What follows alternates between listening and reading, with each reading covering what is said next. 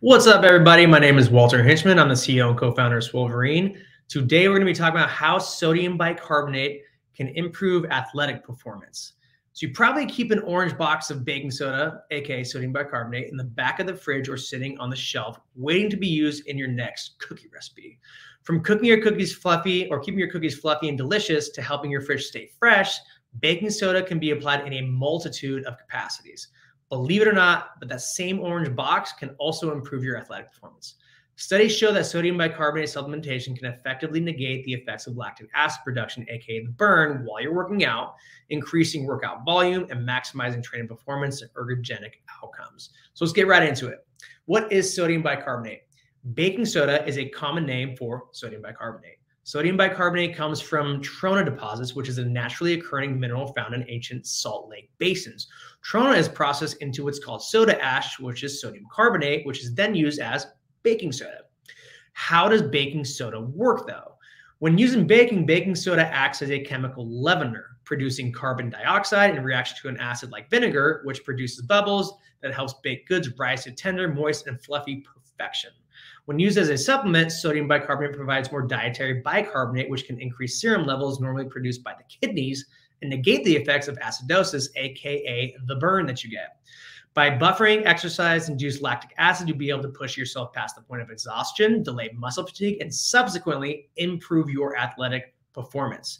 Sodium bicarbonate directly affects your body's pH levels. So, in chemistry, pH is a scale used to grade how acidic or alkaline or basic a solution is. A pH of 7 is considered neutral. So pure water has a pH of 7. Anything lower than 7 is acidic, and anything above 7 is called alkaline. So Kre-Alkalyn, for example, it sits between 7 and 14, making it more alkaline, hence Kre-Alkalyn. Depending upon your body part, the pH is different. However, during anaerobic without oxygen, that type of exercise, your body outpaces the availability of oxygen supply and produces ATP.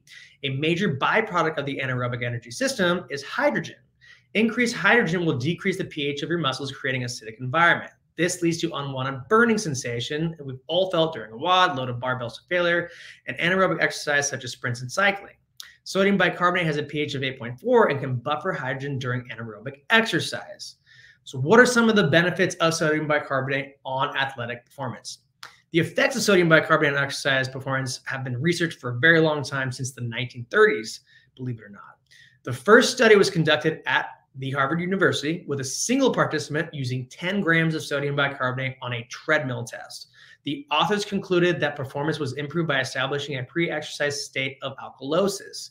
Several studies since then have investigated the effects of sodium bicarbonate in exercise, with the most relevant and recognized research established in the Journal of Applied Physiology in 1977. Five participants undertook 40 minutes of submaximal cycling until exhaustion 95% of their maximum power output on three separate tests, following the ingestion of calcium carbonate, ammonium chloride, or sodium bicarbonate. On average, participants cycled for 438 plus or minus 120 seconds after ingesting sodium bicarbonate, which was significantly longer than the acidosis and control conditions, which makes it a very good supplementation to increase that output. So the next uh, benefit here is endurance capacity. As the exercise intensity increases and your glycolic system or glycolytic system is working at full speed, your body can't keep up with the amount of pyruvate being produced in your body. So when that happens, your energy system shifts from aerobic using oxygen to anaerobic not using oxygen. Pyruvate is then converted to lactate or lactic acid since your body cannot supply and shuttle oxygen fast enough to your bloodstream.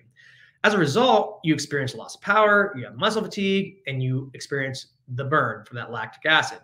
This happens between 10 and 90 seconds into high intensity workout.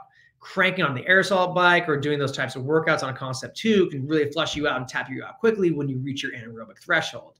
But what if you could somehow buffer that lactic acid and hydrogen ions build up to prolong and maximize your exercise capacity?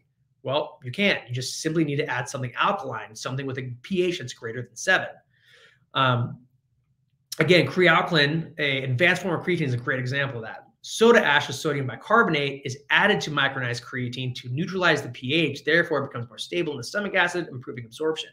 Additionally, adding that sodium bicarbonate will help improve endurance and exercise capacity by significantly and effectively buffering lactic acid buildup, in addition to powering adenyl triphosphate, which is ATP generation, producing more power, more speed, and quick form energy output.